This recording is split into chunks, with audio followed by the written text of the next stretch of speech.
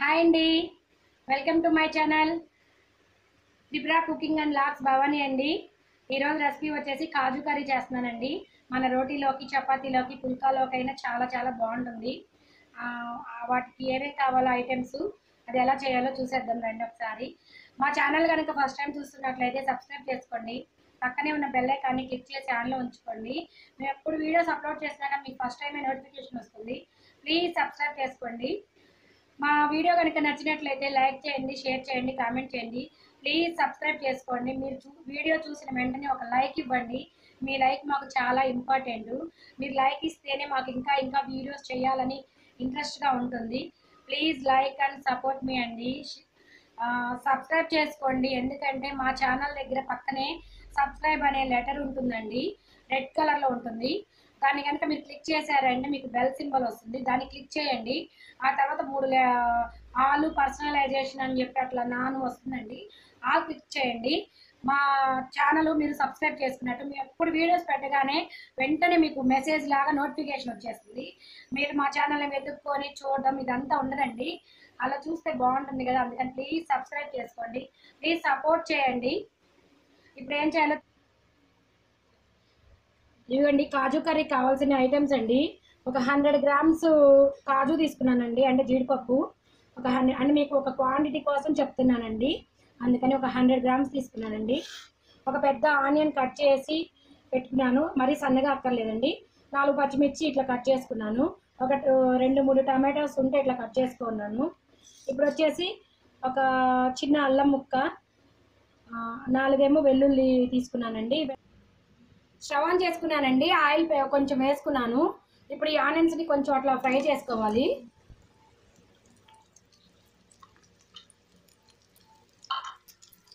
Onions పచ్చిమిర్చి వేసుకున్నాను. ఇప్పుడు అల్లం వెల్లుల్లి. ఇప్పుడు టమాటోస్ వేసుకున్నానండి.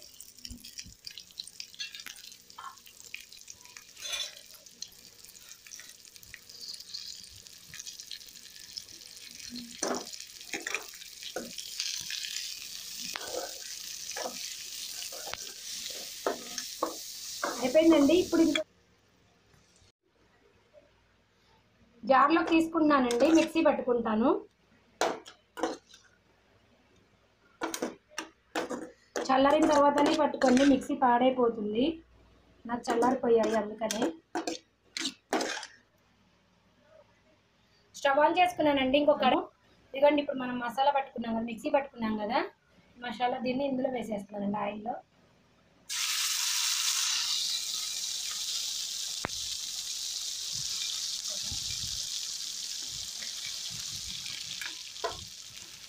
ప్లేన్లో పెట్టుకోండి. మా అడుగంట నీకుండా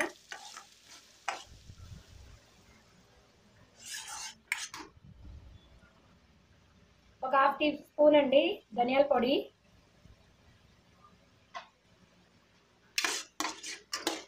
కొంచెం జీలకర్ర పొడి.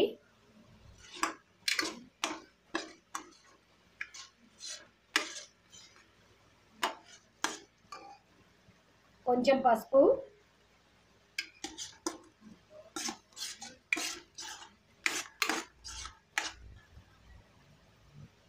ఒక half teaspoon garam masala powder.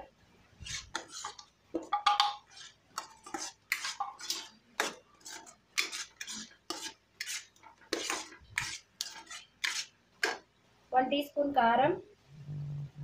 కొంచెం వేసుకున్నానండి కొంచెం ఘాటుగా ఉంటేనే బాగుంటుంది. కదా. ఇప్పుడు అన్నీ వేసి బాగా కలుపుకోవాలి మిక్స్ చేయాలండి.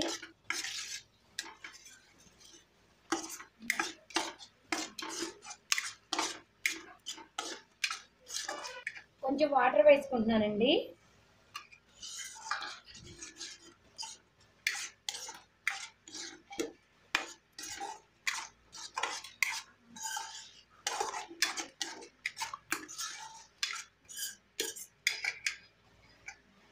సరిపడినంత ఉప్పు అండి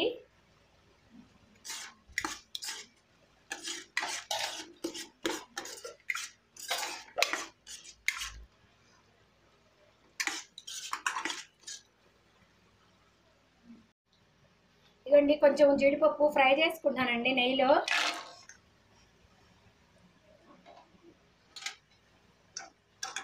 అందుకని ఆయిల్ వేసేసాను. అయిపోయిందండి స్టవ్ ఆఫ్ వేస్తున్నాను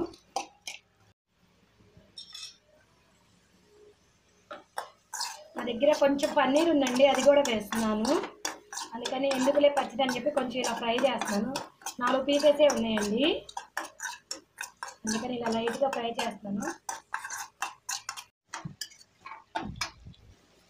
కాజు వేసుకుంటున్నానండి ఫ్రై చేసుకున్నాం కదా ఇప్పుడు కాజు మొత్తం వేసేస్తున్నాను. చూడండి ఎంత కలర్ఫుల్గా ఉందో. మీరు కూడా ట్రై చేయండి ఒకసారి చాలా చాలా బాగుంటుందండి. చపాతీలోకైనా రో రోటీ పుల్కా దేనిలోకైనా బటర్ నాన్కి చాలా చాలా బాగుంటుందండి. చాలా మంచి ఫ్లేవర్ వస్తుంది. కొంచెం వాటర్ వేసుకుందామండి.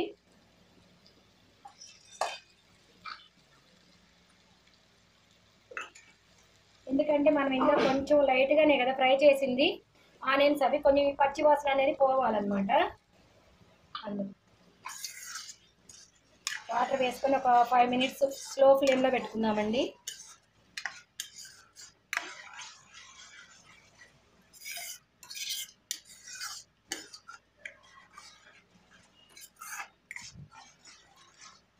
ఇప్పుడు ఈ పన్నీర్ పీసెస్ కూడా ఉన్నాయి కదండి లైట్గా అలా ఫ్రై చేశాను. ఇవి కూడా వేసేస్తాను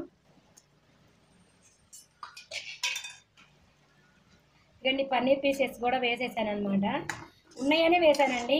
ఇలా అయినా బాగుంటుంది అనమాట రెండు కలుపుకుంటే. ఆల్రెడీ నేను ఒకసారి పన్నీర్ వీడియో చేశాను కదండి.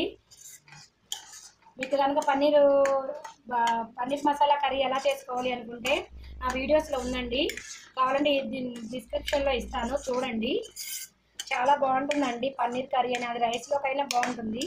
ఇది చపాతీ పుల్కా రోటీ దోశలో కూడా చాలా బాగుంటుందండి.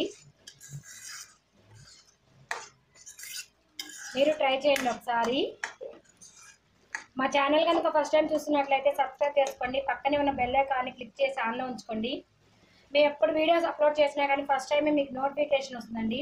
ప్లీజ్ సబ్స్క్రైబ్ చేసుకోండి. మా వీడియో కనుక నచ్చినట్లయితే లైక్ చేయండి షేర్ చేయండి కామెంట్ చేయండి. ప్లీజ్ అండి వీడియో చూడగానే ఒక లైక్ ఇవ్వండి. నేను ప్రతి వీడియోకి వీడియోలో ఒకటి రెండు సార్లు చెప్తూనే ఉన్నాను. మీరు వీడియో చూడగానే మీకు నచ్చిందని చెప్పి ఒక లైక్ ఇవ్వండి. ఎవరికైనా ఉపయోగం ఉంది అనుకుంటే వాళ్ళకు కూడా షేర్ చేయండి. ప్లీజ్ సపోర్ట్ చేయండి.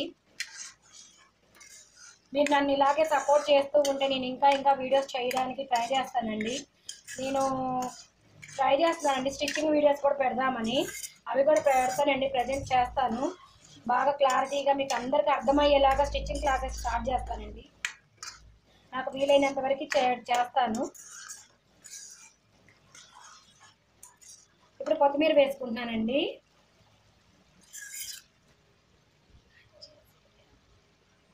కొంచెం పుదీనా కూడా వేసుకున్నానండి. ఇప్పుడు కర్రీ టేస్ట్ కోసం జస్ట్ కొంచెమేనండి.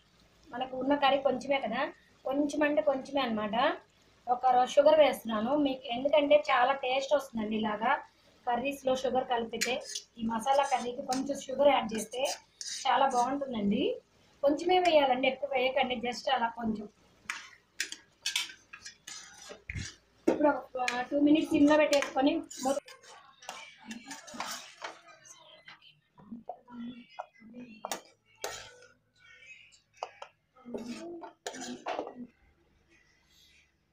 అయిపోయిందండి బౌల్లో తీసుకున్నాను.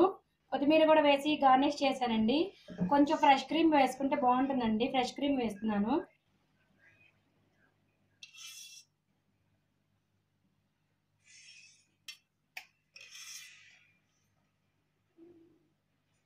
ఫ్రెష్ క్రీమ్ వేస్తున్నానండి.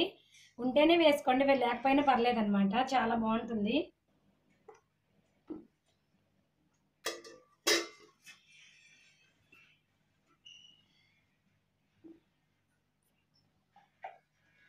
అయిపోయిందండి. వేడి వేడిగా కాజు కర్రీ రోటీస్లోకి చపాతీలోకి పుల్కాలోకి చాలా చాలా బాగుంటుందండి.